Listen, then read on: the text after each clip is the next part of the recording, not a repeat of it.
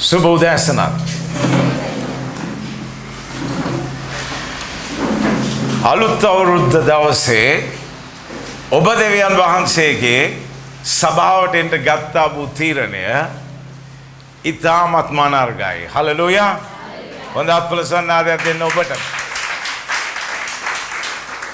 මොකද ඔබට වෙන ඕන තරම් තැන් තිබ්බා තෝරාගෙන ඒ තැන්වලට යන්න. නමුත් ඔබ තීරණය කරා දෙවියන් වහන්සේගේ අභිමුඛයට එන්න. දෙවියන් වහන්සේට নমස්කාර කරන්න. ඒක දකින උන්වහන්සේ පුදුමාකාර සතුටක් උන්වහන්සේගේ හදවතේ ඇති වෙනවා ඔබ සම්බන්ධව. ආමෙන්. මං කැමති අද දවසේදී ඔබ නැවතත් එක වතාවක් නැගිටිනවට. ශුද්ධ ලියවිල්ල කියවලා අපි දෙවියන් වහන්සේගේ වචනයට යොමු වෙන්න යනවා.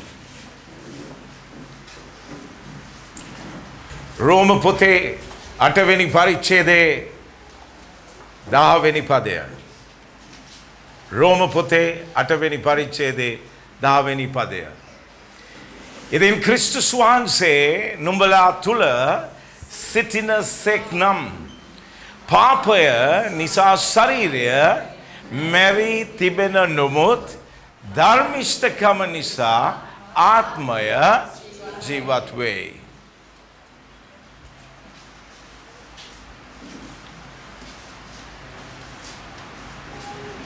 ඔබ මේ දවසේ ඉගෙන ගන්න යන්නේ එහා පැත්තේ කෙනාට හැරිලා කියන්න මූත් කියලා.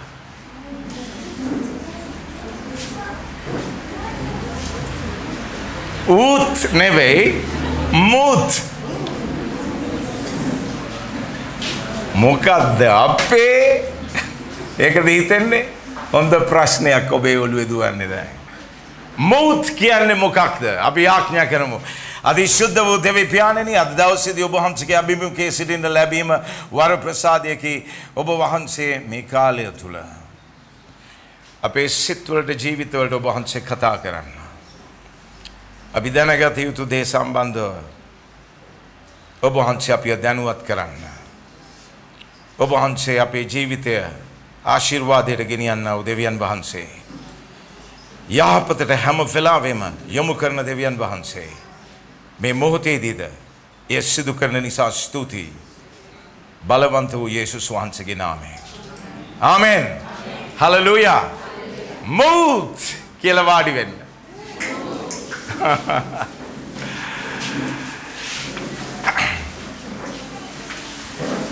ඉතින් ක්‍රිස්තුස් වහන්සේ නුඹලා තුල සිටින සෙක් නම් පාපය නිසා ශරීරය මොකද වචනේ?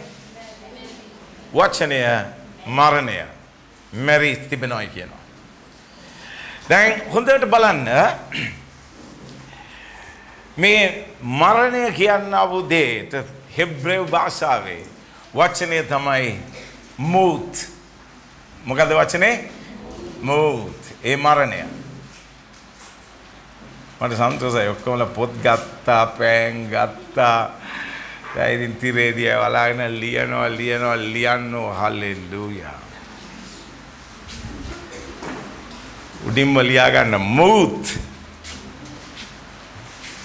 එහා පැත්තෙක් කෙනාව දිය බල්ලා කියන්න එපා මූත් කියලා. දැන් බලන්න මේ පදේ දිහා පොඩ්ඩක්. මරණය ගැන කතා කරන වෙලාවේ ඉඳින් ක්‍රිස්තුස් වහන්සේ නුඹලා තුල සිටින සෙක් නම්. එහෙනම් මේ කතා කරන්නේ ඇදහිල්ලේ සිටින්නා වූ අය සම්බන්ධ කාරණයක්. ඇදහිල්ලේ සිටින්නා වූ අය සම්බන්ධව තිබෙන්නා වූ කාරණයක්. මොකක්ද?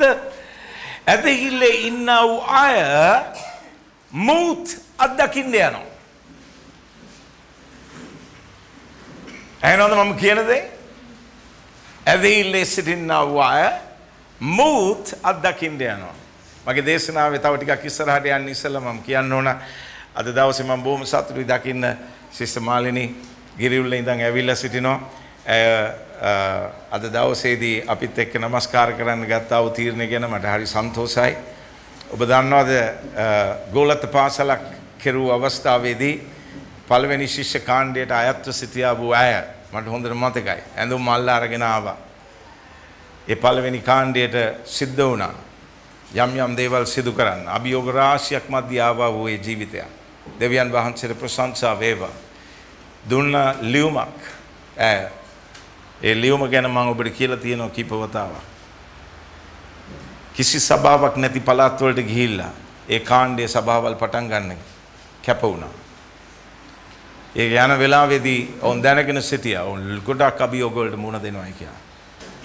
මම මේ කතා කරන්නේ පුරු- පිරිමියෙක් ගැන නෙවෙයි මම මේ කතා කරන්නේ කාන්තාවක් ගැනයි. ඔවුන්ට තිබිච්ච ඔක්කොම හැමදේ අතෑරලා දාලා ඇඳුම් මල්ල අරගෙන ඇවිල්ලා ලියුමක් දුන්නා. මම මේ තීරණය ගන්නේ දෙවියන් වහන්සේට සේවය කරන පිණිස උන්වහන්සේගේ කැඳවීම නිසාමයි. මෙම සේවය කරන්න වූ අතරතුරේ යම් කිසි සිද්ධියක් ඇති වුවහොත් අපේ ජීවිතයට පවා හානියක්. ඒකට කිසිසේත්ම පාලකතුමාවත් සභාවවත් ඒෝජී සංවිධානයටවත් වගකීමක් නැත මක් නිසාද මේ හුදෙක්ම මගේ කැමැත්ත අනුව ගත්තා වූ තීරණයක් මත ගන්නා වූ ක්‍රියාවලියකි කියා. හලලුයා අද දවසේදී සභාවක් තිබෙනවා ගෙරියුල්ලේ ඈ කෙරුවා වැපරුවා මාන්සි වුණා ඇවිද්දා. ඊයේත් අපි කතා කරද්දි කිව්වේ ඇවිදිනවා තාමත් කිව්වා. හලලුයා.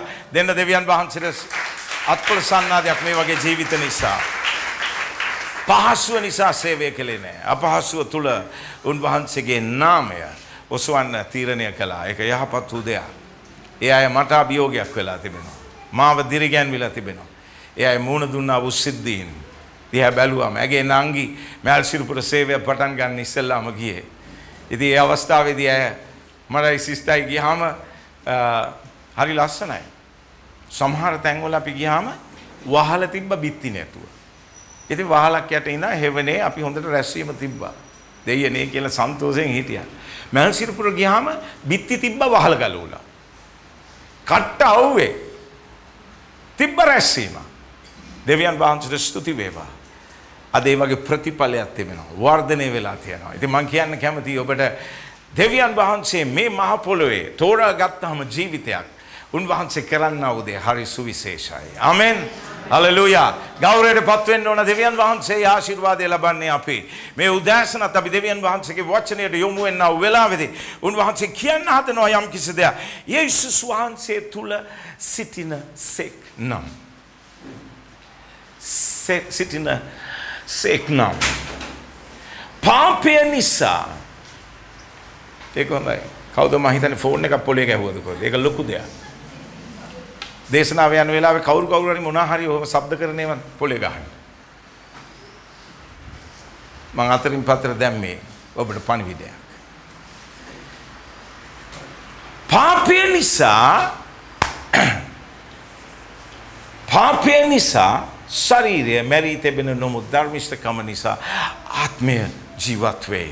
අද දවසේදී මම ඔබට කතා කරන්න බලාපොරොත්තු වෙන්නේ මරණය සම්බන්ධව. එහෙම නැත්නම් මම අසන ඔබෙන් ප්‍රශ්නය මොකද මරණය අනිවාර්යයි කියන්නේ.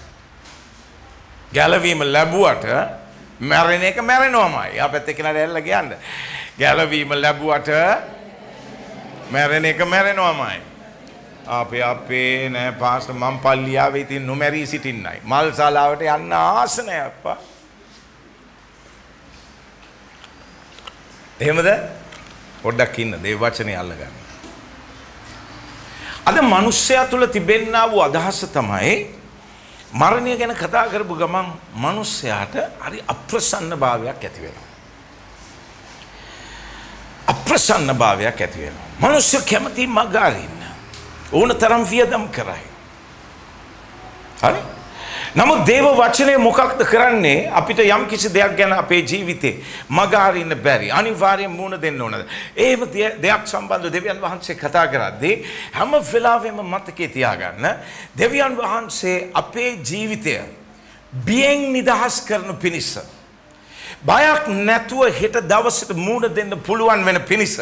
දෙවියන් වහන්සේගේ වචනයෙන් අපේ ජීවිතය ගුණවත් කරන උන්වහන්සේ. හලලුයා වචනයෙන් ගුණවත් කරනවා. වචනයෙන් දැනුවත් කරනවා. වචනයෙන් බලවත් කරනවා. එතකොට අපිට ඉස්සරහට තිබෙන්නා වූ දේක් දකින්න අපිට බියක් නැහැ. දැන් ලොකුම දේ තමයි මිනිස්සයා බියවන්නේ.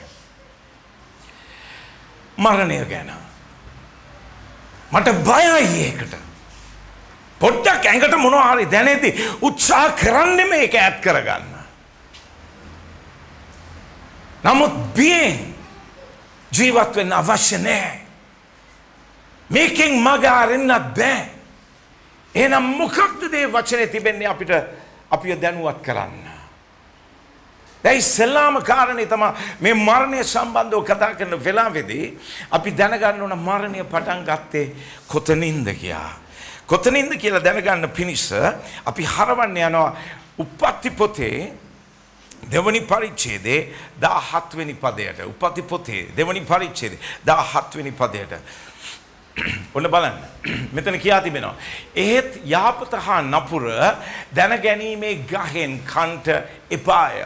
මක්නිසාද එයින් කෑ දවසෙහි. ඒ කාන්තෙන්ම නුඹ මොකක්ද වචනේ? නසිනවා කියන්නේ මොකක්ද මුක්කු නසිනවා කියන්නේ මොකක්ද? මැරෙනවා. මූත් අත්දකින්නවා. මූත් අත්දකින්නවා. ඒ කියන්නේ මිනිස්යාව දෙවියන් වහන්සේ මුලින්ම මවද්දී මූත් අත්දකින්න සැලැස්සුවේ නැහැ. මූත් අත් නොදැකින්න පුළුවන් වෙන විදිහට උන්වහන්සේ හැමදේම පිළියෙල කළේ. නමුත් මිනිස්යාට කිව්වා ඔබ අකීකරු වෙච්ච දවසේදී ඔබ මූත් අත්දකින්නවා. ආස නැත්නම් එනම් මොනවද කරන්න ඕන? ආස නැත්නම් මොනවද කරන්න ඕන? අත්දකින්න ආස නැත්නම් කීකරු වෙන්න ඕන. ඒක එදත් එහෙමයි. ඒක අදටත් කීකරුකම අති වැදගත්ව තිබෙන්නා වූ දෙයක්. එතන දෙවියන් වහන්සේ කතා කරලා කියද්දී මේ ගහෙන් කන්න එපා. කාපු දාට ඔබට අපහසුතාවය දැනෙන්න යනවා. ඔබ නසින්නවා නස්සිනවා. ඔබ නැති වෙනවා. කෙල දෙවියන් වහන්සේ කියලා කියලා මේක දැනුවත් කරලා උන්වහන්සේ ඒක ඒ නීතිය ස්ථාපනය කළා. කියලා නීතිය ස්ථාපනය කළා. මොනවද උන්වහන්සේ කියලා කළේ මොකද්ද? නීතිය ස්ථාපනය කළා. මොකද නොකියා නසින්න සැලැස්සුවේ නෑ. කියලා කිව්වා මේක කෑවොත් ඔබ නසී.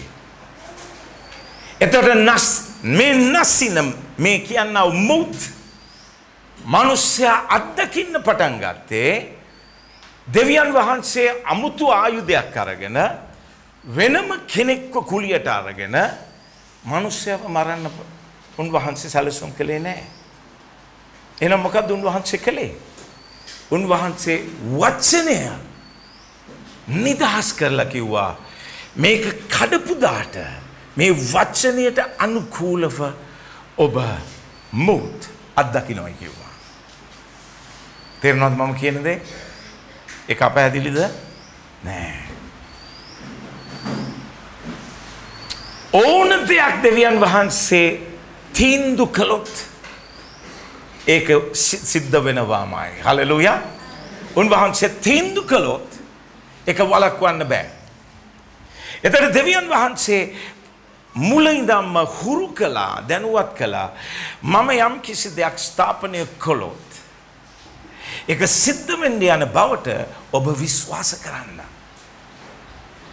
හිතන්න එපා ඒක ඔබට වෙනස් කරගන්න පුළුවන් කියලා.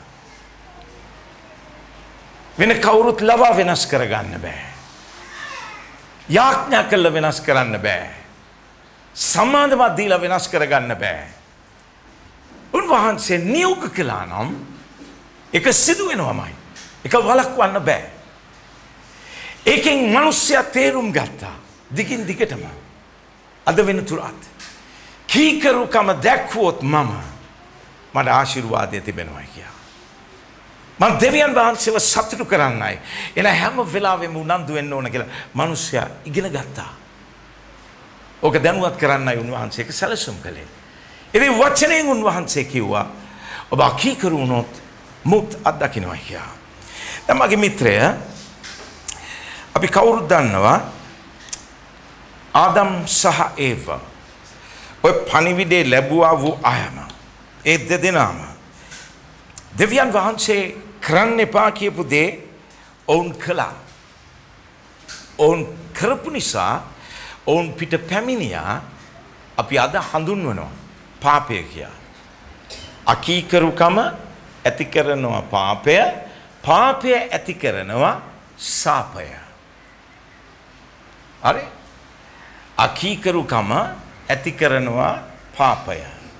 පාපය ඇති කරනවා මොකක්ද සාපය. එයා පැත්තේ කෙනට ඇල්ල කියන්නේ අකීකරු වීමේ ප්‍රතිඵලය සාපයක් තමුන් පිට ගෙන එනවා.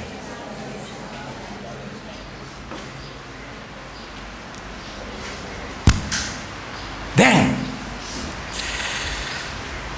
මේක සිද්ධ වුණා.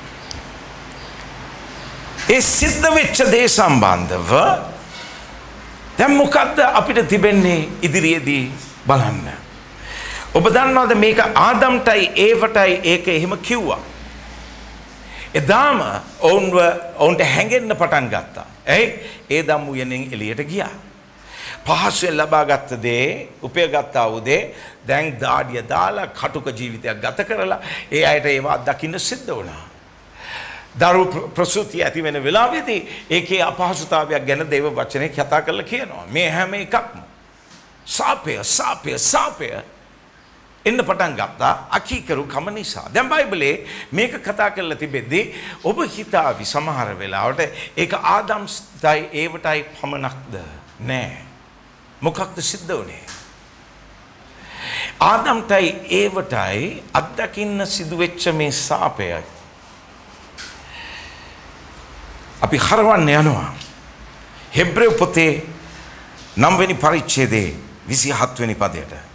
හෙබ්‍රෙව් පොතේ නම්වෙනි පරිච්චේදේ විසි හත්වනි පදය. මෙතන කියනවා තවද එක් වරක් මොකක්ද වෙන්න ඕන? අත්දකින්නම ඕන මුත්.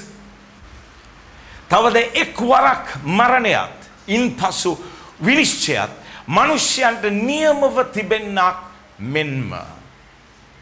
තා හොඳට තේරුම් ගන්න. කවදක්වත් මරණය කියන්න අවුදේ ආදම්ටයි ඒවටයි ඒක පටන් ගත්තහම ඒ දෙන්නත් එක්ක. ඒ දෙන්නාට පමණක් ඒක සීමා වෙලා තිබුණේ නැත. ඊට පස්සේ ඒක මුළු මනුෂ්‍ය සංහතිය පිටම එන්න පටන් ගත්තා. ඒ අයකින් ඇතිවෙන්නා වූ හැම මනුෂ්‍යයෙක්ම තීන්දු වෙලා තිබුණා ඉපදුනත් අනිවාර්ය මැරෙන්න ඕනයි කියා. සාපයේ සැරකම ඒකයි. සාපය කියන්නා වූ දේ ආවේ ඒක අකීකරුකමේ ක්‍රියාවලිය කෙරුවා වූ දෙදෙනට පමණක් නොවේ. නමුත් ඉන් පස්සේ අයගෙන් බීවෙච්ච හැම එක්කෙනෙකුටම ඒ දේ අත්දකින්න සිද්ධ වුණා. එක හරි සැර දෙයක්. මේක ඔක්කොම පටන් ගත්තේ එක ගෙඩියක් කාලා. එක අකීකරු කමේ ක්‍රියාවලියක්. හිතන්න එපා මේක ආදම්ටයි ඒවටයි විතරයි කියලා. ඒ නිසායි මම ඔබට කතා කරලා කියන්නේ අද දවසේදීත් අකීකරු කමට පුළුවන් නම් තව දුරටත් අපිට බලපෑමක් ඇති කරන්න අපි උනන්දු වෙන්න ඕන කීකරුකම ගැන. හලලූයා. කීකරුකම ගැන. දෙවියන් වහන්සේ සතුටු කරන්නම මම මොකක්ද කරන්න ඕන? මම මොකද්ද කරන්න ඕන? අපි හදවතේ ආසාව තියෙන්න ඕන. මොකද යක්ෂය හැම වෙලාවෙම අපි පොළඹවන්නේ දෙවියන් වහන්සේ ගැන නෑ නෑ නෑ නෑ ඔබේ කාරණේ ගැන උනන්දු වෙන්න. නෑ. දෙවියන් වහන්සේ කියද්දී ඒ ගහෙන් කන්න මේ ගහෙන් කන්න එපා කියලා. ඒක ආදම් මේ වගේ අදහසක් නෙවෙයි. ඒක දෙවියන් වහන්සේගේ තීන්දුවක්. එතකොට සිද්ධ වුණේ මොකද්ද? ඔයාට කැමතිද සුදෝ කියලා ඒ ගිහිල්ලා භාගයක් කවන්න නෙවෙයි නෑ එහෙනම් මොකද්ද සිද්ධ වුනේ ඒ දෙන්නාට සිද්ධ වුණා දෙවියන් වහන්සේගේ කැමැත්ත පරිදි ඔවුන්ගේ ජීවිතය ගෙනියන්න නමුත් අපොහොසත් වුණා. දුක එකයි ඛේද වාචකේ. නමුත් ඒක ඒ දෙන්නගෙන් නතර වුණා නම් කමක් නැහැ. නමුත් ඒ දෙන්න ඒක කෑවා කීකරුණා. නමුත් ඊට පස්සේ ඇති වෙච්ච හැමෝටමත් අත්දකින්න සිද්ධ වුණා. ඒක අනිවාර්යයි. තවද එකවරක් මරණයත් ඉන්පසු විනිශ්චයත් මිනිස්යන්ට බහු වචනෙන් මෙතන තියෙන. මිනිස්යන්ට නියමයක් ඒක. ඒක නියමයක්. යමක් උඩ දැම්මොත් ආකර්ෂණ ශක්තිය නිසා ඒක වැටෙන්න ඕන. ඒක නියමයක්. එහෙනම් මිනිස්සෙක් ඉපදුනොත් අනිවාර්යයෙන්ම මැරෙන්න ඕන. ඒක නියමයක්. ඒක පරණ කිවිසුමත් නෙමෙයි අලුත් කිවිසුමට ආවම කියනවා. දැන් මේ වෙද්දි මේ කතා කරන්නේ ඇදහිලිවන්තයටත් ඔය නියමය බලපානවා කියයි. ඒක සාපයක්. අපෝ අලුත් අවුරුද්දේ ඔන්න කියාපි. මූණේ බලන්නකො තියෙන ඇම්බුල් ගතිය මේ ඉඳන් බලද්දි ඒක හොඳයි ඒව දැනෙනවා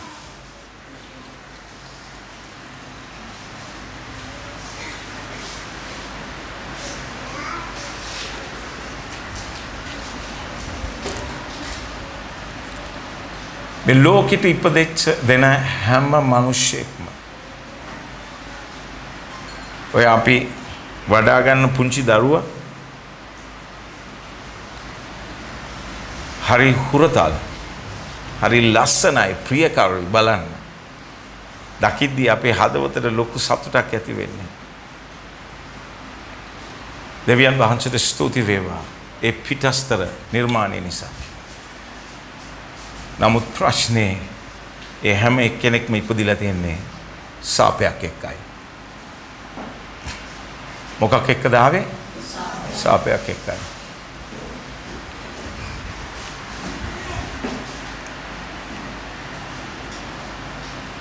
බය නැතුව එහා පැත්තේ කෙනාට හැරිලා කියන්න මං ආවෙත් සාපයක් එක්කයි.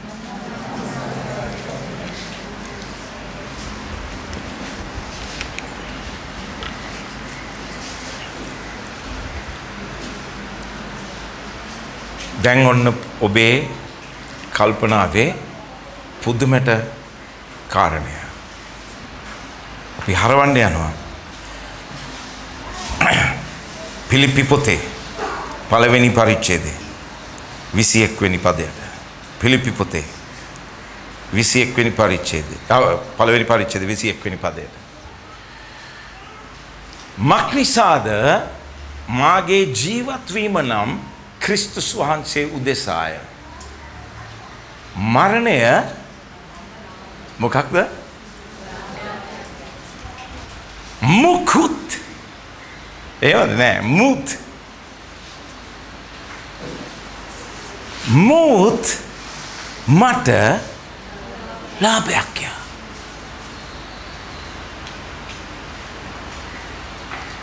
මුත් සාපයක් නම්. සාපය කෝමද ලාභයක් වෙන්නේ. තේරනෝද යම් කිසි දෙයක් අල්ලගන්න. තාම මම ඉවර නෑ. ඔබ දැන් තේරුම් ගන්න ඕන මේක පෙරලීමක් සිද්ධ වෙනවා. ඔබ මුත් සම්බන්ධව තිබෙන බය අවශ්‍ය දෙයක් නෙවෙයි. අද කිතුනුවා මරණයට බය නම් ඔහු දේව වචනේ හිඟතාවයක් ඇත්තා වූ කෙනෙක් නිසායි. දේව වචනේ අවබෝධයක් තිබෙනවා නම් ඔබට දුකක් නැත. ඔබ කිතුනුවෙක් නම් දැකලා තියෙනවද එයාපෝට් එකට ඔබගේ දැකලා තියෙනවද ඒ කාලේ වැඩි මේ කාලේ අඩුයි කවුරු හරි එක්කෙනෙක් ගමෙන් යද්දි පවුලෙන් එක්කෙනෙක් යද්දි ගමේ බස් තුනක් යනවා ප්ලේන් එකට ගොඩ වෙන්න නෙවෙයි අතවනන්න උලුක් වෙනකම් එයාට පේනවද ප්ලේන් එක කොහෙද තියෙන්නේ කවුද අතවනන්නේ කියලා නෑ අර වගේ බස් ගොඩ කැවිලා අතවනනවා සමහර අය අඬනවා. මම දකිනවා අනේ අම්මේ අඬනවා. මම වටපිට බලනවා මල් වඩන් එහෙම මුකුත් නැහැ නේ වටපිටල්. ඇයි දන්නේ? ඇයි මේ කෙටි කාලීනව ඈත්වීමක් නිසා අඬනවා. ඔබ දන්නවද කිතුණුවට මරණය ප්‍රශ්නයක් නොවේ.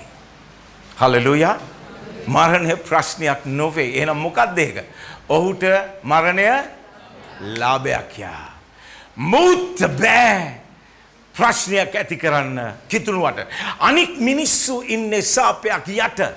නමුත් දේව වචනය තිබෙන්නව බලවත්කම තමයි. දේව වචනයෙන්ම ආවානම් ප්‍රකාශ කරනු ලැබුවනම් මුත් සාපයක් කියලා. දේව වචනයෙන්. ඒක තව පැත්තකට ඒක නැඹුරු කරනවා. ආපෝ පාස්ටේ ගැන දේව වචනය නිකන් එහෙම නමන්න පුළුවන්ද? ආගන්න පොඩ්ඩක්. උදාහරණයක් මම මෙහෙම කියන්න අපිව හඳුන්වන්නේ බයිබලේ යේසුස් වහන්සේව පිළිගන්න ඉස්සෙල්ලා. අපි මොන ගණයට අයිති මිනිස්සුયો කියලාද? යේසුස් වහන්සේව පිළිගන්න ඉස්සෙල්ලා අපි ආත්මිකව මොන මට්ටමේ ඉන්නව අයද? පෞකාරයෝ. අපි කවුද? යේසුස් වහන්සේ පිළිගන්න ඉස්සෙල්ලා අපි පෞකාරයෝ. යේසුස් වහන්සේ පිළිගත්ත ගමන් ඒ පෞකාර මිනිසයා ඊගාවට ඔහුගේ தත්ත්වය මොකක්ද ඔහු? මොකද්ද වෙන්නේ? ඔහු ශුද්ධවන්තයෙක්. හලලුයා පෞකාරයෙක් ශුද්ධකවන්තයෙක් වෙන්නේ කොහොමද එනම්? එතන දෙවියන් වහන්සේගේ වචනයෙන්ම යම් කිසි දෙයක්. ඒ පුද්ගලයා සම්බන්ධව පමණක්. එහා පැත්තේ කෙනා රැල්ලගෙන ඒ පුද්ගලයා සම්බන්ධව පමණක් උන්වහන්සේ වෙනස සිදු කරනවා. මුත් බෑ. දැන් සාපයක් ගෙන දෙන්න ඒ ජීවිතයට මුත් බෑ සාපයක් ඇති කරවන්නේ ජීවිත. මොකද ඒ මනුස්සය ඒට ඉස්සෙල්ලා සාපලද්ද පුද්ගලයා තින්දු වෙලා සිටියේ. විනාශ වෙනවා කියද්දි දෙවියන් වහන්සේ අර ඒ ඒදම් උයනේ කියද්දි කිව්වේ ඔබ නිකන් මේ හුස්ම නැති කරගන්නව විතරක් නෙමේ ඔබ මගෙන් විසන්දි වෙනවා කිව්වා. මගෙන් ඈත් කරනවා කිව්වා. ඔබටයි මටයි ගනුදෙනුවක් නැති වෙනවයි කිව්වා. නමුත් දෙවියන් වහන්සේගේ යහපත්කම උන්වහන්සේ ඒ සාප ලද්ද පැතිකඩවල් උන්වහන්සේ යේසුස් ඕ හලලුයා උන්වහන්සේ ඒ මූත එද්දී වෙනසක් ඇතිවෙන්න සැලැස්සවා. ඒහින්දයි පාවුල්ට පුළුවන්කමත් තිබුණේ අපහසුවක් නැතුව කියන්න මම ජීවත් වනොත් ඒසුස් වහන්සේ දෙසයි ම මැරුණොත් මට එය ලාභයක් කියා.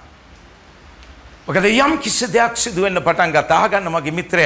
එක්තරා වෙලාවක අපායට තීන්දුව වෙලා සිටියා කියලා දැනගත්තා වූ මිනිසයා අනිත් මොහොතේදී තප්පරයකින් වෙනස් වෙලා කියන්න පුළුවන් මම දැන් දේව රාජ්‍ය පුරවැසි භාවය ලැබුවා වූ දෙවියන් වහන්සේගේ දරුවෙක් වෙලා සිටින්නේ ආශිර්වාද ලද්දෙක්. තව දුරටත් මම ශාප ලද්දෙක් නෙවෙයි කියා. ඒ වෙනස වෙනස වෙනස.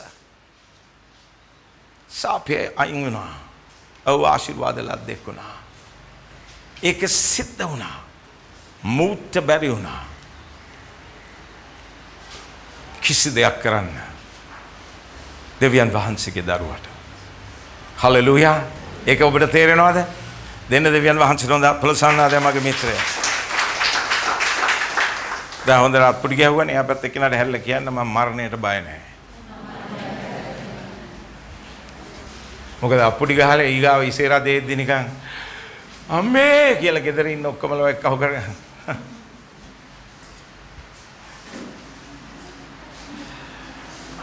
බයිබලේ යම් කිසි දෙයක් වෙනස් කරන්න දේව වචනය අහස පොළොව පහව ගියත් දේව වචනය වෙනස් කරන්න බෑ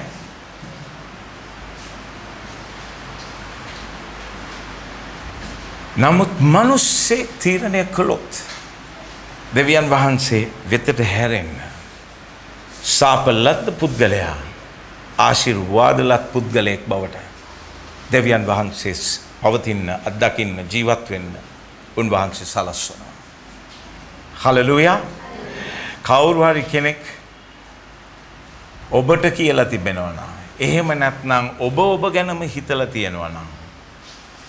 මම සාප ලද්ද මනුස්සෙක් මට මේ ජීවිතේ මුකුත් හරි ගිහිල්ලා නැත්තේ නිසායි කියා.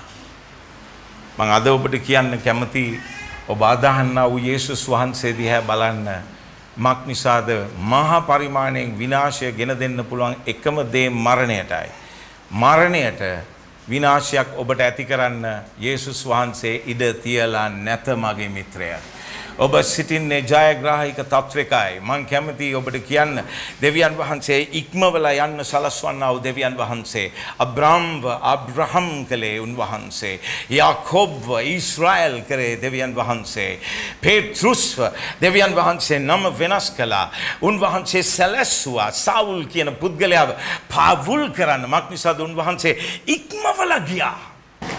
සාපේ මායිම ඉක්මවලා ගියා.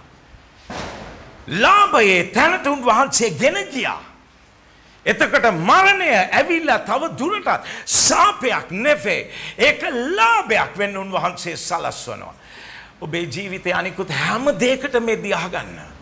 සමාර වෙලාට ඔබගේ ඔබගේ ආර්ථිකය දුර්වල වෙන වෙලාවල් වලා. ඔබගේ පුරුද්ධ කාට හරි බැනවදින එක වෙන්න පුළුවන්. නමුත් හිඟේ ඇතිවෙද්දි තේරුම් ගන්න සලස්වන්න. මේක ඇතිවෙන්නේ මාගේ විනාශයට නොවේ. නමුත් මම දෙවියන් වහන්සේ කෙරේ විශ්වාසය වැඩි කරගන්නයි. ස්වාමින් වහන්සේ දෙස බලද්දි මං හිතන්නේ නැති මට පේන්නේ නැති මට කවුරුත් කියලා නැති දෙයක් සිදුවෙන්ඩ යන මගේ ජීවිතේ. මට ඇති හැකි කම ඇතිව ජීවත් වෙන්න උන්වහන්සේ සලස්සන. අද මං බලද්දි මට තේරෙන්නේ හිස්කම. නමුත් තව ටිකකින් මං අත්දකින්න යන්නේ පූර්ණ වූ භාවයක්. හලලුයා දෙවියන් වහන්සේ ඒක කරන්න මගේ මිත්‍රයා. මොකද විශ්වාස කරන්න ඉගෙන ගද්දි දෙව වචනය. එත රුන් වහන්සේ සලස්වනවා. සමාධානය නැත්ද? දෙවියන් වහන්සේව සොයන්න. රෝගය තිබෙනවද? දෙවියන් වහන්සේව සොයන්න. සොයන්න. ඔබ අත්දකින්න යනවා. මේ දැනෙන අපහසුකාරී දේ වෙනස් වෙන්න පටන් ගන්න ඔබේ ජීවිතේ. මොකද දෙවියන් වහන්සේ සිටින්නේ ඔබට අපහසුතාවය තුළ සිටින්න සලස්වන්න නෙවේ. නමුත් අපහසුතාවයෙන් පහසුවට ඔබව ගෙන එන්නයි. හලලුයා මෞත්ත පුළුවන්කමක් නැත විනාශයක් ගෙන දෙන්න දෙවියන් වහන්සේගේ දරුවෙකුට. දැන් මේක මට ලාභයක් වකි කියලා කිව්ව පැහැදිලිව.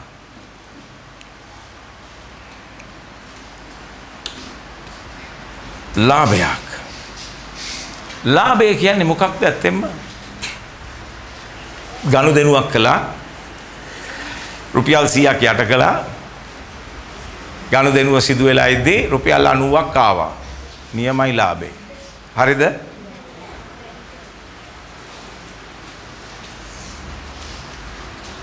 ලාභේ කියන්නේ වැය කළ මුදලට වඩා පරිමාණයක් ඔබේ අතේ ඉතුරු වෙන්න ඕන.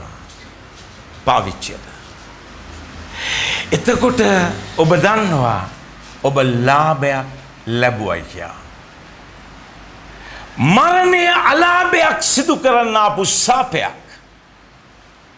නමුත් දෙවියන් වහන්සේ කෙරේ විශ්වාසය තබන මනුස්සයාට අල්ලාභයක් නෙවෙයි ඒක සිදු කරන්නේ දෙවියන් වහන්සේ කොයි තරම් දුරට වෙනස් කරනවාද කිව්වොත් ඒක ලාභයක් ලබලා දෙන්න ඒක උන්වහන්සේ සලස්වනවා. ලාභයක් ලබන්න සලස්වනවා. මේක කියාගෙන මං ඔබ ගෙනියන පොඩ්ඩක් ඉස්සරහට. කොහාටද මං ගෙනියන්නේ ඔබ? හතරවෙනි කාරණේට ගීතාවලිය පොතේ එකසිය දාසය වෙනි පරිච්චේදේ පාලොස්වනි පදය. මොකක්ද කියන්නේ?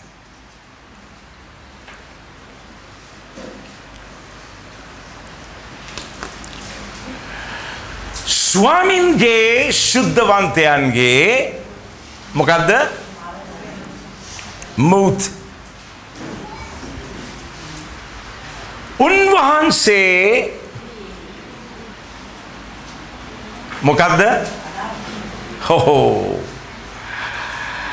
දැන් ඔය දෙවියන් වහන්සේම තමයි ආදම් සහ ඒවට කිව්වේ ඔබ මේ ගහෙන් කාපු දාට ඔබ නස්සෙයි.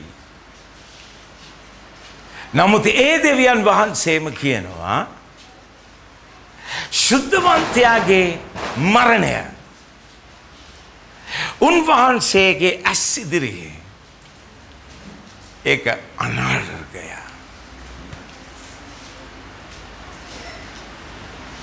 එතකොට මගේ මිත්‍රය කිතුනුවාට තිබෙන්න ඕන මේ දේව වචනේ දෙවියන් වහන්සේගේ ආකල්පය අදහස එලි දරව් වෙද්දී අපි ඒක අල්ලා ගනිද්දී ඒක අපිට ධෛර්යයක් සහ ශක්තියක් අපිට බියක් නැහැ අපි අපහසුතාවෙන් ජීවත් වෙන්නේ නැහැ අපි බලාපොරොත්තුවේ සෙනගක් කියලා කියන්නේ හේතුව මගේ මිත්‍රය දෙවියන් වහන්සේ ඉදිරියේ ආශිර්වාද ලැබූ මනුෂ්‍යයෙක් හැටියට දෙවියන් වහන්සේ අපිට පවතින්න සලස්වනවා. අද මිනිස්සු මේ වෙද්දි වැඩියෙන්ම වියදම් කරන්නේ මොනවටද? හොයලා බලලා තිබෙනවද?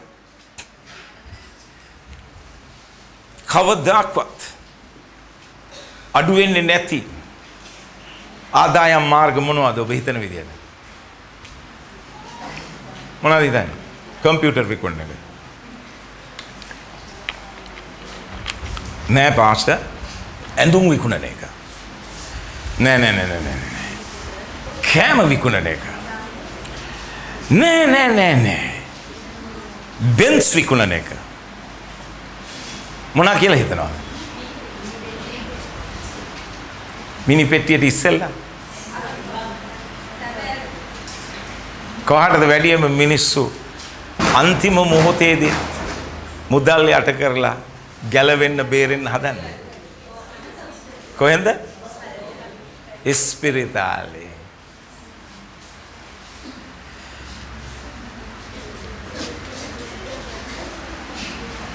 ඉස්පිරිතාලේ ණය වේ විකුණයි වඳී බැගෑපත් වේ යාඥාත් කරයි මොකෙන් ගැලවෙන්නද මුත්වලට බයයි. ද මිනිස්සු වියදම් කරනවා. සන්තකේම වියදම් කරනවා. ඔබ දන්නවාද මරණය ගැන හොඳ අවබෝධයක් තිබුණාන කෙනෙකුට ඇදහිලිවන්තයකුට මේක අනිත් අයට අදාළ නෑ මක්නි සදයකළු යේසුස් වහන්සේව දන්නේ නෑ නමුත් යේසුස් වහන්සේව දන්නා වූ පුද්ගලයාට මරණය ප්‍රශ්නයක් නොවේ. එයා නිදහස් පුද්ගලයෙක්. පුදුම ධෛර්යයක් ඇති කෙනෙක්. මොකද බයිබලයේම කතා කරලා කියනවා දෙවියන් වහන්සේ ඉදිරියේ මේ මරණය ඇතිවෙද්දී ඒක අනර්ගයි කියලා කියන්නේ හේතුව මිනිස්යාට වෙන කිසි විදියකින් ලබන්න බැරි දෙයක් ඔහු අත්දකිනවා. ඇදහිලිවන්තයා අත්දකිනවා. හැම මනුෂ්‍යයන් නෙවෙයි ඇදහිලිවන්තයාට වෙන කිසි විදියකින් ලබන්න බැරි දෙයක් ඔහුට ලබන්න සලස්වනවා දෙවියන් වහන්සේ. මේ මුලින් සාපය කියපු අකීකරුකමේ ක්‍රියාවලියේ අර ස්ථාපනය වෙච්ච ඒ නීතිය උන්වහන්සේ අනි පැත්තට හරෝල තවත් ඉස්සරහට ගෙනීල්ලා ඇදිහිල්ල ඉන්න මනුස්්‍යයට ඒක අනර්ගතයක් වෙන්න සලස්සල මොකක්ද ඔහු ලබන්නා වූ අනර්ගත් දැකීම මරණය තුළේ. ඒකයි දෙවියන් වහන්සේ කියන්නේ ඒ අනර්ගයි කියලා. දෙවියන් වහන්සේ අනර්ගයි කියන්ට යන්න ඒ අනර්ග නැත්නම්. නමුත් දෙවියන් වහන්සේ අනර්ගයි කියලා කියනවනං ඒකට හේතුව. උන්වහන්සේ මා පොළොවේ ජීවත්ව සිටි කෙනා ඉන්න වූ කාලය දැන් අවසන් වෙනවා. කාලය සම්පූර්ණ වුණාම උන්වහන්සේ උසස් වීමක් ලබා දෙන පිණිස මූත් අත්දකින්න සලස්වනවා. ඇනොද මම කියනදේ මොකද බයිබලේ කියනවා. අපි ඇස්වා ගනිද්දි මේ මහපොළොවේ අපි ඊගාවට තප්‍රයකින් අපි අස්සරින්නේ කොහෙද දෙවියන් වහන්සේගේ අභිමුඛයේ. ඒ උසස්වීම මෙහෙම කරද්දී ලබලා දෙන්න වෙන කිසි අත්දැකීමක් නැත. ඔබට නිරාහාරව ඉන්න පුළුවන් මාස ගණන්.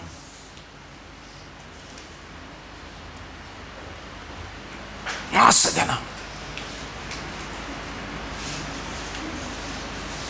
ඔබට පුළුවන් යාඥා කරන්න ඔබට පුළුවන් අනිකුත් හැම දෙයක්ම කරන්න. නමුත් ඔබේ ජීවිතයේ ඒ මට්ටමට ගේන්න යන්නේ නැහැ. ඒ තත්ත්වයට ඇවිල්ලා එතන සිටින්න සලස්වන්න පුළුවන් කමක් නැහැ. අපි පුංචියට එනවා ඊට පස්සේ යනවා. ලාවට අත්දකින්නවා ඊට පස්සේ ඒක මතකයට පමණක් සීමා වෙනවා. නමුත් මූත් අත්දකපු ගමන් ඒක සදාටම ස්ථාපනය වෙනවා හැමදා මන් දෙවියන් වහන්සේගේ අභිමුඛයේ කියා. හලලුයා. ඔබ සභාවට එද්දී ඔබ අත්දකින්න දෙවියන් වහන්සේව නමස්කාර කරන වෙලාවේ පුදුම ප්‍රීතියක් තිබෙනවා. සතුටක් තිබෙනවා. නමුත් ප්‍රශ්නය ඇවිල්ලා ඔබ ආපහු ගෙදර යද්දී තත්ත්වය වෙනස් වෙන්න පුළුවන්. හෙට වෙද්දී තත්ත්වය වෙනස් වෙන්න පුළුවන්. ඔබ හමු වෙන්නව මිනිස්සු නිසා. ඔබේ ආර්ථිකය නිසා ඔබේ ශරීරයේ තිබෙනව හැඟෙන දේවල් නිසා ඔබට යම් අය සලකන විදිය නිසා ඒවා වෙනස් වෙන්න පුළුවන්. නමුත් මගේ මිත්‍රය මවුත් තුලින් ගියාම කෙනෙක් කවදාක්වත් ආපහු එයාව පල්ලෙහාට අදින්න බෑ. එයා ගියොත් ගියා එතන සිටිනවාමයි. හලෙලූයා. එයා එතන සිටිනවාමයි සදාටම. ඒකයි උන්වහන්සේ කිව්වේ එයා අනර්ගයි. මොකද මා පොළොවේ සිටිද්දී දෙවියන් වහන්සේගේ දරුවෝ මේ හොඳට ඉන්නවා. මේ හොඳට ඉඳලා ආපෝ ඊගාව පැයේදී මහා වනයක් ඇති කර ගන්නවා.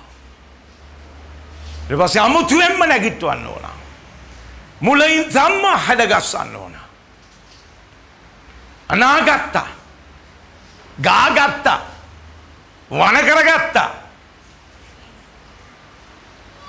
නමුත් මුත් අත්දැක්කාම දෙවියන් වහන්සේ අනර්ගයි කිව්වේ අපේ හලෙල්ලූයා දැන් නම් ආවේ මාත් එක්ක හැමදා සිටින්නයි. හලලූයා ඔබ ආස දෙයකට දෙන්න දෙවියන් වහන්සේට දත්වල සන්නාදයක්. මරණයට බය වෙන්න එපා මගේ මිත්‍රය.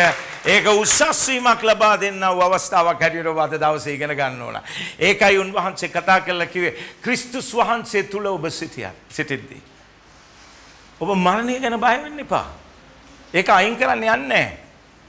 මොකද මම ඒ ඒ දේ පවත්වින්න සලස්වන්නේ ඒක ඔබට යහපතක් සිදු කරන නිසායි. සන්තෝෂ වෙන්න. සන්තෝෂ වෙන්න. දෙවියන් වහන්සේ අපි නිදහස් කරනවා. නිදහස් කරනවා. මිනිස්සු ඇදහිල්ල හිටියට ගොඩ බය එක්ක ජීවත් වෙනවා. නමුත් දේව වචනේ අපි නිදහස් කරනවා. අපි නිදහස් කරනවා. ඔබ දන්නවද? රෝහලට මාව ගෙනිල්ල වෙලා මාව ගිලන් රථයට පටවද්දි සමහරක් ඔළුව දාලා මගෙන් හැව කොහොමද පාස්ටර්? මම මං හොඳින් ඉන්න ඔයා කොහොමද? කියලා ඇහුවා. ඒ ප්‍රශ්නයක්ද? ගිලන් රථයට දැම්මා කියලා? මගේ කතාව වෙනස් වෙන්න ඕනද? නිකන් බලන්න ගානේ අම්මේ දෙයියෝ මට කරපු දේ අනේ අපේ මම මෙච්චර සේවය කළා. තනේ ඔක්කොම අතහැරලා දාලා ඇවිල්ලා මම මේ කෙරුවා කුරුණෑගලම පොල් ගෑවා මම සේවයනේ කරේ බලන්නකෝ වෙච්ච දේ. ආ එහෙමද? නෑ. සන්තෝෂෙන් ඉන්න. හල්ලෙලූයා මගේ දෙවියන් වහන්සේගේ වචනේ විශ්වාස කරපු නිසාද මම ජීවතුන් අතර සිටිනවා. මෙතන හිටගෙන ඔබට දේව වචනේ කියන්න. වෙන මොනක් මුකුත් නෙවෙයි. දෙවියන් වහන්සේ ඔබව පවා මගේ මිත්‍රය උන්වහන්සේ ළඟට ගෙනාවේ. මහ පොළොවේ තියලා මේ කුණු තුච්ච ලෝකයේ තුල ඔබ විටින් විට වැටි වැටි තුවාල වෙවි ඔබම බෙඳි බිඳි සිටින්න නෙවෙයි උන්වහන්සේ සැලැස්සුවේ මේ මුත් කියනා වූ දේ තුලින්. උන්වහන්සේගේ අවසාන පියවර ඔබව ගන්න උන්වහන්සේ ඉදිරියට. හැමදාම උන්වහන්සේගේ අභිමුඛයේ සිටින්න සලස්වන්නයි. ඒ නිසා ඒ දොර ඒ දොර කවදාවත් සුළු කරන්න එපා. දෙවියන් වහන්සේම කියන උන්වහන්සේගේ දරුවාගේ. ඒ මිය යෑම උන්වහන්සේ ඉදිරියේ අනර්ගය කියා. අනර්ගය කියා හලලුයා අනර්ගය කියා මං ඔබට කියා සිටිනවා මගේ මිත්‍රය දෙවියන් වහන්සේ යහපත් උන්වහන්සේ අද දවසේ සමහරක් අයගේ සිත්වල තිබුණා වූ ඔබ ගිලන් රථයකින් මෙතෙන්ට ආවේ නැහැ. නමුත් මම ඔබට කියන්න ඔබ තුල බය තියෙනවා. ඔබ කොටු කරන බය තියෙනවා. ඔබ හිර කරන බය තිබෙනවා. ඒක එන්නේත් යම් කිසි එක දෙයක් ඇති වෙද්දී ඒක දුවනවා දුවනවා දුවනවා දුවනවා දුවනවා ඉස්සරහට. ඊට පස්සේ ඔබට බයක් ඇති වෙනවා. ඔබට මතක් වෙන්න පටන් ගන්නවා. ඔබට පේන්න පටන් ගන්නවා. ඔබට දැනෙන්න පටන් ගන්නවා. මොනාගේ මොනවාද ඔබට දැනෙන්නේ? ඔබට දැනෙන්න පටන් ගන්නවා. පකිස් ලීයේ සුවඳ. එතකොට ඔබට දැනෙන්න පටන් ගන්නවා ඩේසි කියන මලේ සුවඳ. ඔබට දැනෙන්න පටන් ගන්නවා මේ අර ඉටිපන්දන් වල සුවඳ මේ ඇයි මේ තාම ඉසේ රදයක් විතරයි දැන් ඔබ hina වුණාට බය ඇති අයටයි මම කතා කරන්නේ.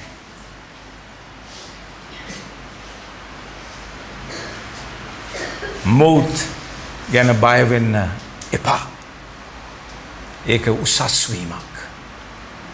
ඒක අනර්ග දෙයක්. දැන් මම ඔබ ගෙනියනවා ඉක්මනට.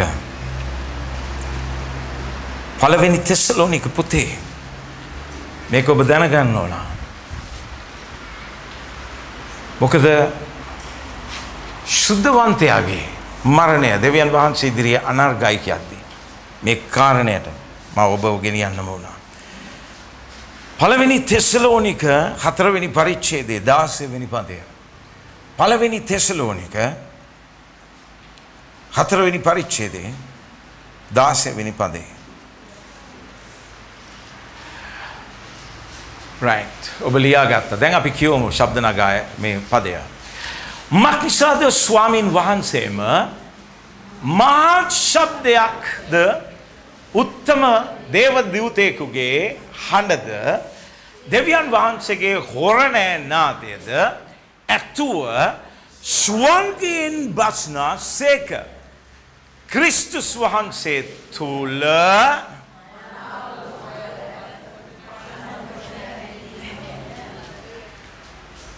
ක්‍රිස්තුස් වහන්සේ තුළ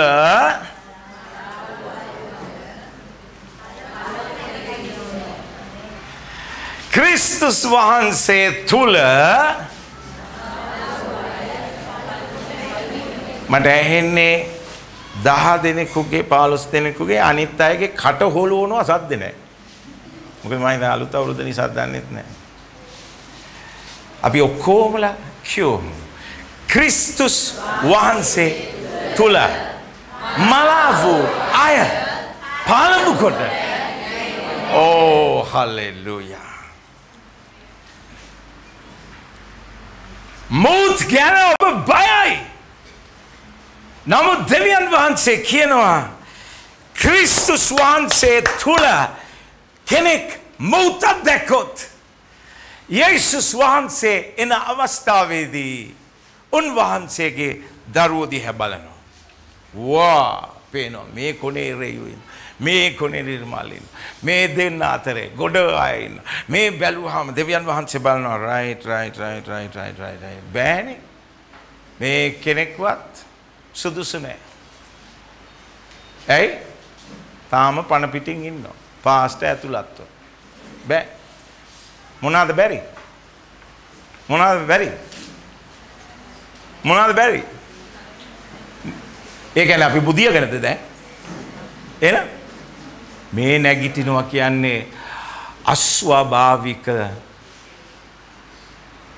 අධි බලවත් ඓශ්චර්යමත් ක්‍රියාවලියක් සම්බන්ධවයි දැන් මේ කතා කරන්නේ. මොකක්ද ඒ ක්‍රියාවලිය? යේසුස් වහන්සේ එද්දී මේ තප්පරේ ආවොත් අපි මෙහෙම්ම මින්ඩ යනවා. නමුත් මල්කඩුවාවේ සුසාන භූමියේ මම තැම්පත් කෙරුවා වූ ජීවිත කීපයක් තිබෙනවා. ඒ අය දෙවියන් වහන්සේ ඉස්සල්ලාම ගන්න උඩට.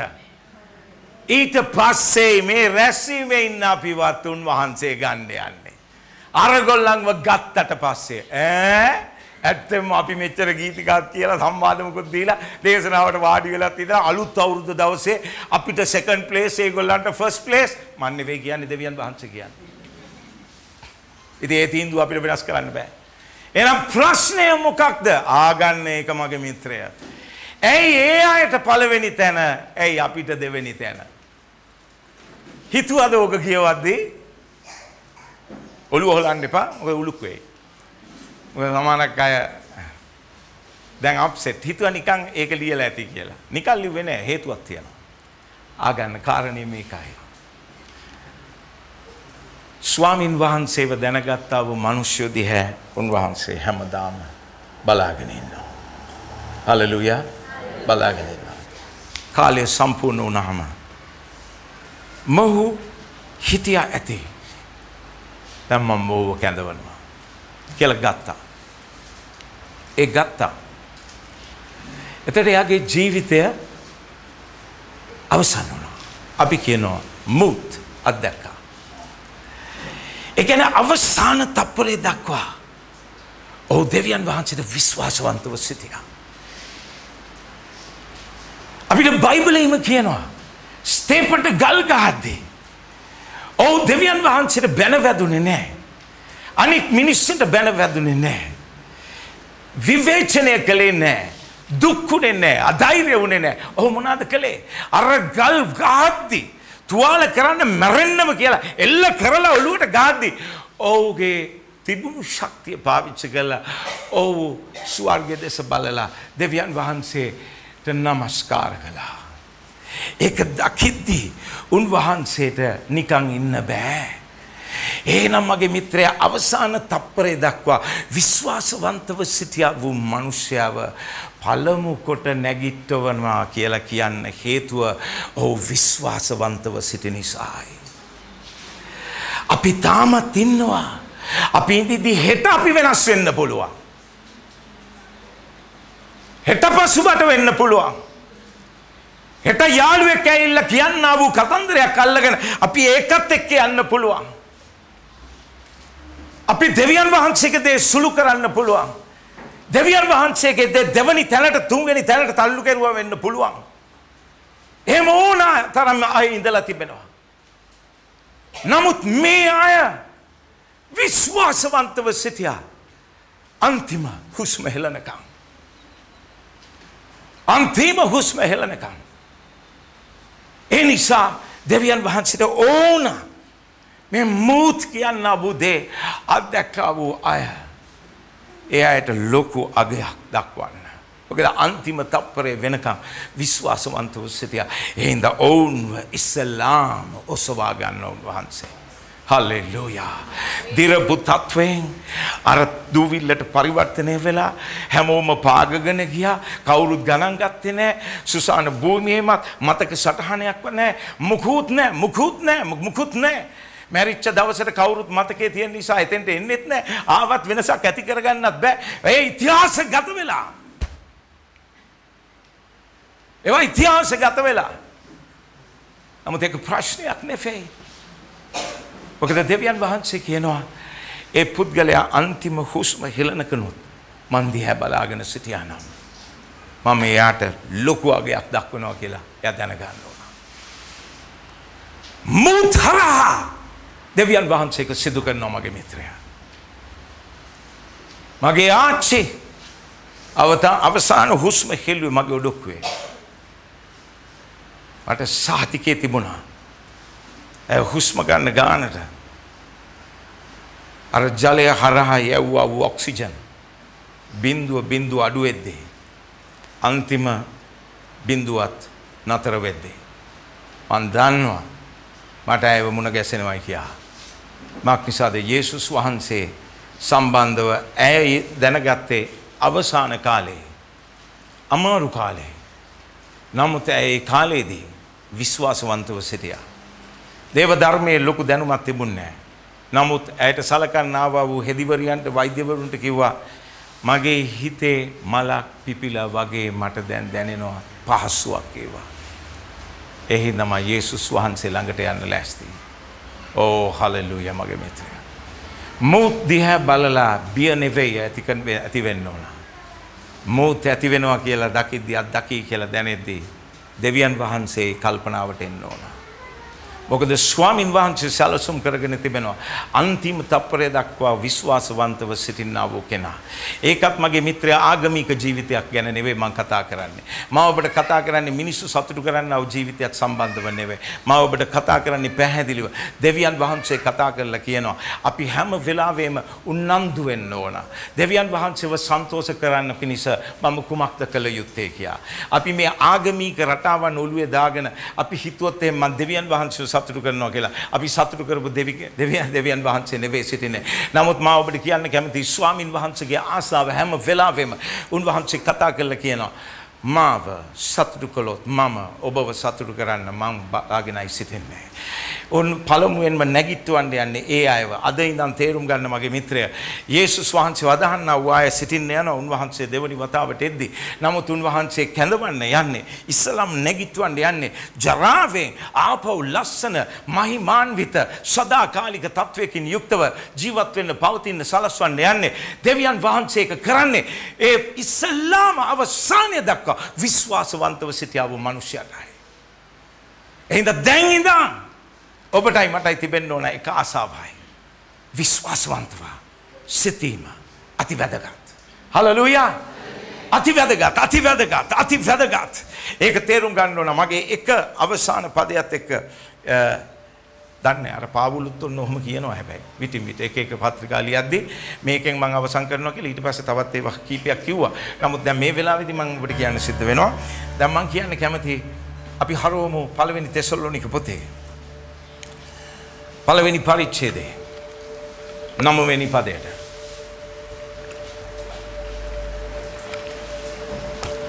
එකේ එකේ නවය. එසේ නුඹලා වෙතට අපේ පැමිණීම කොයි ආකාරව තිබුණේද කියාත් නුඹලා ජීවමාන වූ සැබෑ වූ දෙවියන් වහන්සේට මෙහි කරන පිණිසද ඊගා වචන බලන්න උන්වහන්සේ විසින් උන්වහන්සේ විසින් මොකෙන් නැගිට්ටවව් මුත්. යේසුස් වහන්සේ මුත් අත්දැක්කද නැද්ද? අත්දැක්කද නැද්ද? අත්දැක්කද නැද්ද? උන්වහන්සේට පාඩුවක් වුණාද? හලලුයා මුත් පුළුවන් කමක් නෑ දෙවියන් වහන්සේ දිහැ බලාගෙන සිටින්නා වූ කෙනාට හානියක් සිදු කරන්න. නමුත් දෙවියන් වහන්සේ සලස්වනවා මෝත අදකිද්දී. සාපය ඉක්මවල ගිහිල්ලා සාපය පරාජය කරලා ඒක ආශිර්වාදය බවට පෙරලගන්න පෙරල්ලන්න දෙවියන් වහන්සේ සලස්වනෝ සලස්වනෝ සලස්සනෝ. සලස්සන. ඔබට කියන්න මගේ මිත්‍රය අපි මේක හරියට තේරුම් ගත්තොත් අපි තේරුම් ගන්නවා. යේසුස් වහන්සේ කිව්වා මිනිස්සු ඔබට විරුද්ධ වෙන්න යන ඔබ මං කෙරෙහි විශ්වාස කරන නිසා. එයයි සමහර වෙලාවට එක්කාසු වෙලා ඔබට හානි කරයි පීඩා කරයි. නමුත් ඔබ කවදාක්වත් බය වෙන්න එපා. ශරීරයට හානි කරන්න පුළුවන් අය ගැන. නමුත් ශරීරයටයි ආත්මයටයි හානි කරන්න පුළුවන් දෙවියන් වහන්සේට පමණයි. උන්වහන්සේට බියව ජීවත් වෙන්න කිව්වා. අපි බය වෙන්න ඕන මරණය ගැන නෙවෙයි. මරණය ගැන බය වෙන්න එපා.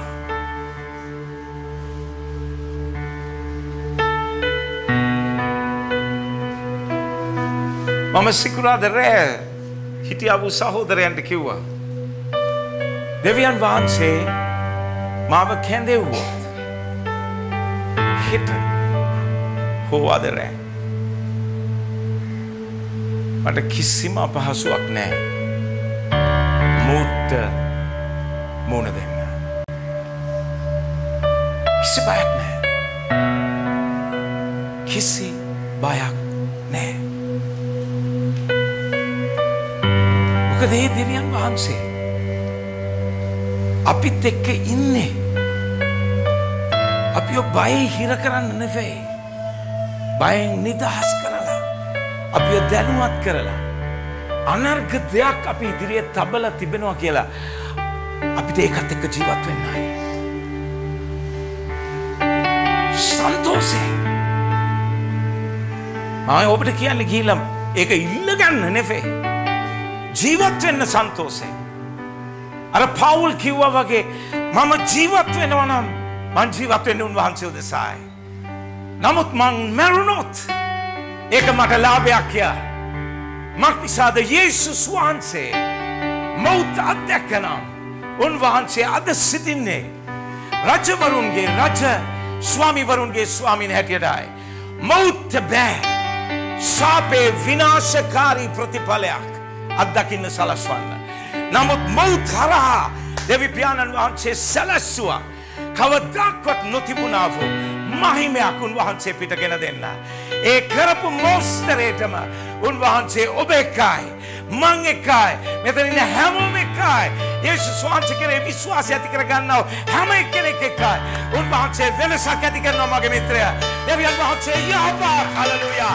දෙවියන් වහන්සේ අනාල්කයි හලෙලූයා අපිට හෙට ගැන බයක් නැහැ. අපිට හෙට ගැන බයක් නෑ. නමුත් අපිට තිබෙන්නේ නිදහසයි. දැන් මම අර කිව්වා වගේ පවුල් වගේ මට කියන්න සිද්ධ වෙනවා. කල්පනාවට එද්දී ආයි ආයි ආයි ආයි ආයි තව එකක් තියෙනවා මම ඒකත් කියලා ඉන්නම්කෝ. තව එකක් තියෙනවා. ඒකත් කියලා ඉන්න මොකද නැත්නම් ඒක හරියන්නේ නෑ. අපි සිටින්නේ යේසුස් වහන්සේ කිව් පරිදි. උන්වහන්සේව නැගිටෙව්වා වැඩි බලවත් තත්වයේ තැබුවා. ඉතින් බලන්නකො මොනවද කියන්නේ කියලා. පළවෙනි කොරින්තේ 15 වෙනි පරිච්ඡේදයේ 55 වෙනි පදය. මුත් සම්බන්ධව. දැන් පවුල් කතා කරලා කියනවා. මොනවද කියන්නේ? එකේ 15 55 එම්බා මරණය.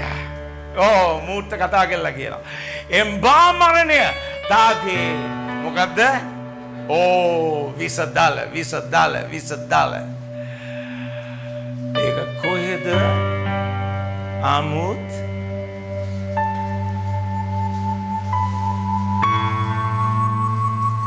උඹට දල තිබුණා. නමුත් මගේ දෙවියන් වහන්සේ දල ගැලෙව්වා. අද මන් නිදහස්. බියක් නැත. මම ශක්තිමත්ව සිටිනවා. එයින්ද දැන් ඉස්සර උඹ මෞත් උඹ මාව පාලනය කළා. බිය ඇති කළා. නමුත් දැන් මං උඹ ප්‍රශ්න කරනවා. අද මම සිටින්නේ උඩින්. ඔබට බෑ මට හානිකාරී දෙයක් ඇති කරන්න. මොකද මගේ දෙවියන් වහන්සේ යහපත්ව බලවත්ව ජීවමානව මාත් එක්ක සිටිනවා මන් දිහා බලාගෙන සිටිනවා මට උපකාර කරන පිණිස. හලලුයා මගේ මිත්‍රය මම ඔබට කියා සිටිනවා දෙවියන් වහන්සේ තාමත් අනර්ගයි. ඔබ මොනා හිතනවාද ලාසරස්ගේ මරණයට ගිය වෙලාවේදී යේසුස් වහන්සේ කතා කරලා කිව්වා. මගේ මතකයට එන වෙලාවේ මම කියන්න නිර්මල් බලන්න යෝහන්ගේ සුභාරංචි 11 වෙනි පරිච්ඡේදය. 12 වෙනි පදයට පල්ලෙහින් වගේ. ඔයිට වැඩි කීපයකට පල්ලෙහින්. මරියට කතා කරලා කියනවා බය වෙන්න එපා. ඔහු මැරිලා සිටිනවා.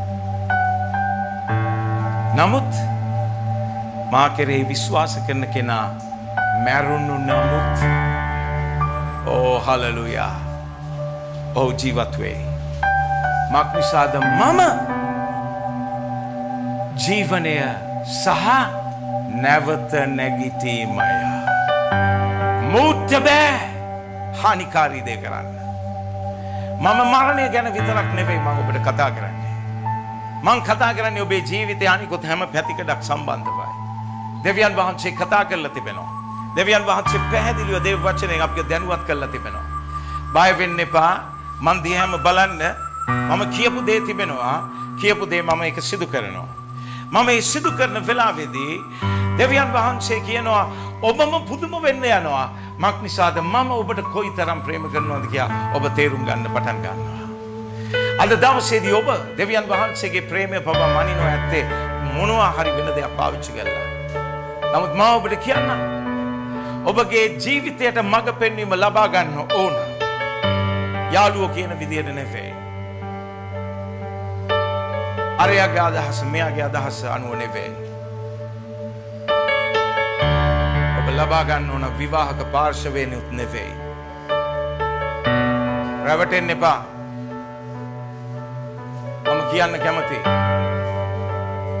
සිස්ටට පුළුවන් ප්‍රමාණයක් තියෙනවා ශක්තියක් වෙන්න මට. නමුත් ඒ සීමාව ඉක්මවල මට ශක්තියක් වෙන්න පුළුවන් එකම එක්කෙනයි සිටින්නේ. ඒ ඔබ අදහන මං අදහන අපිට ආශිර්වාද කරන්න වූ සදාකාලික ජීවනයක් දුන්නා වූ අපි වෙනුවෙන් කුරුසේ එල්ලුණා වූ ඒ කුරුසෙන් බෑලා ජීවමානව සිංහාසනයේ සිටින්නා වූ යේසුස් ක්‍රිස්තුස් කියන්නා වූ තැනන් වහන්සේට ඕන දෙයක් කරන්න පුළුවන් මගේ මිත්‍රයා. ඒ සීමාවක් නැත. ඒ සීමාවක් නැත. උන්වහන්සේට කරන්න පුළුවන් පරිමාණය එපමණව තිබෙනවා. බයිබලයේ පැහැදිලිව කියනවා යේසුස් වහන්සේම කතා කළා. නැවත නැගිටීමද ජීවනයද මමය මා කෙරේ යදන්න හලලුයා මල නොමොත් ජීවත් වන්නේ හලලුයා අපි නැගිට සිටිමු මගේ මිත්‍රයා. අපේ දෙවියන් වහන්සේ යහපත්. හලලුයා. ඔබ දාත දවසේදී දේව වචනේ අල්ලගන්න ඕන. ඔබට අවශ්‍ය නැහැ කිසිසේත්ම හිර වෙන්න, දුක් වෙන්න, අධෛර්ය වෙන්න, කලකිරීමේ ජීවත් වන්න. මක්නිසාද ස්වාමින් වහන්සේ සිටින්නේ. ඔබ බලවත්ව මේ ජීවිතේ මේ මහ පොළොවේ ඔබ තබන්නයි. වෙන මිනිස්සු කාලකන්නේ කියයි. නමුත් මගේ මිත්‍රය අපිට එද්දී අපි ආශිර්වාද ලද්දෝ. හලලුයා. අනික් මිනිස්සු කලකිරෙනවා ජීවිතය දිහා බලලා. ඒ ජීවිතය ගෙවෙනවා කියදී ඔවුන්ට දුක බර එන්නේ.